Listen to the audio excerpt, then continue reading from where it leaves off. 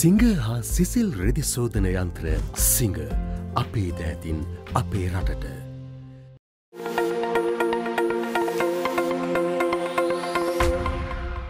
ශ්‍රී ලංකාවේ ණය ප්‍රතිව්‍යුහගත කිරීමට ඇති අවශ්‍යතාවය සහ සියලුම ණයහිමියන් එකම ස්ථාවරයක් දැරීමේ අවශ්‍යතාවය චීන රජයට දැනුම් දී ඇතැයි ජනාධිපති රනිල් වික්‍රමසිංහ මහතා නිකේ ඒෂියා පුවත් සේවයට සමග සාකච්ඡාවක් ලබා දෙමින් පවසා තිබෙනවා. ණය ප්‍රතිව්‍යුහගතකරණය සම්බන්ධයෙන් චීනය වෙනත් ක්‍රමවේදයක් අනුගමනය කිරීම හේතුවෙන් අනෙකුත් ණයහිමියන් චීනය සමග ඇති කරගන්නා එකඟතාවය කුමක්ද යන්න ප්‍රශ්නය වනු ඇති බව ජනාධිපතිවරයා පෙන්වා දී තිබෙනවා. එම නිසා ණය ප්‍රතිව්‍යුහගතකරණය සම්බන්ධයෙන් චීනය දරන ස්ථාවරය වෙනස් කරගන්නැයි චීනයෙන් ඉල්ලා සිටින බව ජනාධිපති රනිල් වික්‍රමසිංහ මහතා ඉල්ලා සිටිනවා.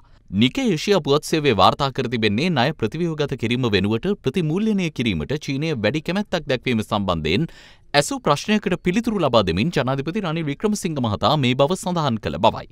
ඉන්දයානු සාගර කලාපයේ බහුදේශපාලනික තත්ත්වය උණුසුම් වෙමින් පැවතුනද මේ වනතෙක් ශ්‍රී ලංකාවේ ණය ගැටලුව පිළිබඳ ආර්ථික කෝණයකින් පමණක් අවධානය යොමු කිරීමට ශ්‍රී ලංකාවට හැකිවී ඇති බවද ජනාධිපතිවරයා පැවසූ බව පුවත් සේවය වාර්තා කරනවා.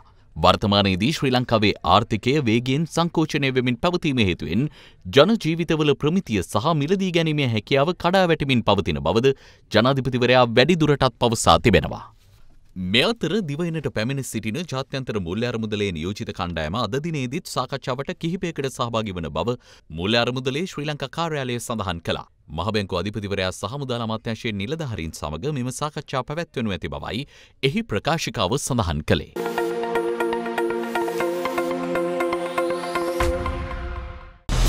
අද දෙරන YouTube නාලිකාව YouTube අද දෙරන දැන්ම සබස්ක්‍රයිබ් කරන්න.